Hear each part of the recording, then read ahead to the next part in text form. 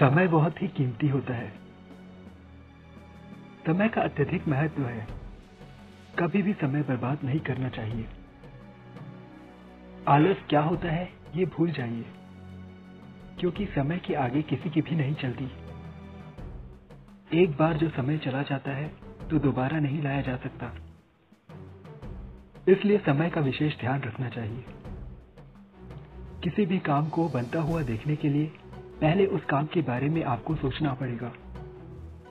फिर उस काम को बनाने के लिए आपको समय चाहिए होगा। इसलिए हर काम का एक समय होता है। उसी समय उस काम को कर लेना उचित होता है। बाद में हमेशा मौका मिले यह ज़रूरी नहीं होता। आज से, अभी से, इसी वक्त से। यह मन में ठान लीजिए कि मुझे हर काम को जल्द से जल्द करना होगा। तभी मैं समय पर हर काम कर पाऊँगा।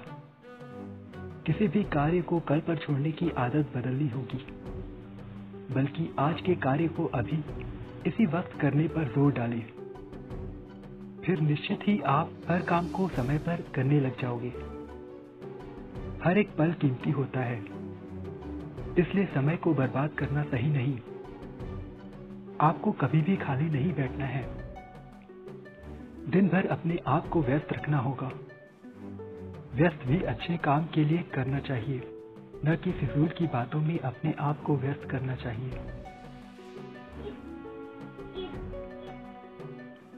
इधर उधर घूमना या मस्ती करना, वो भी हर वक्त, यह उचित नहीं। यदि आपके पास बहुत पैसा है तो कभी भी किसी कम पैसे वाले का या किसी गरीब का मज़ाक मत उड़ाना। क्योंकि समय बदलते देर नहीं लगती। समय समय की बात होती है। आज और कल का फ़र्क होता है।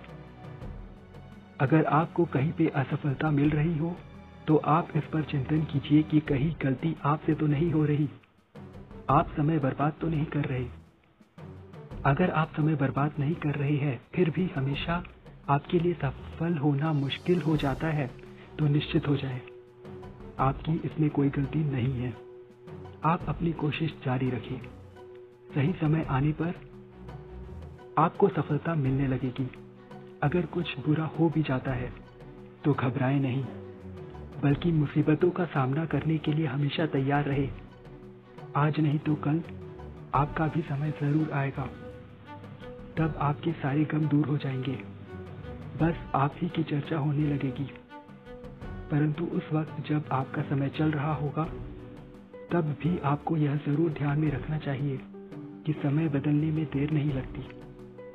इसलिए अपनी सफलता से उस वक्त भी अपने आप को सर्वोच्च इंसान समझने की गलती ना करें और अपनी सफलता के मज़ा लें।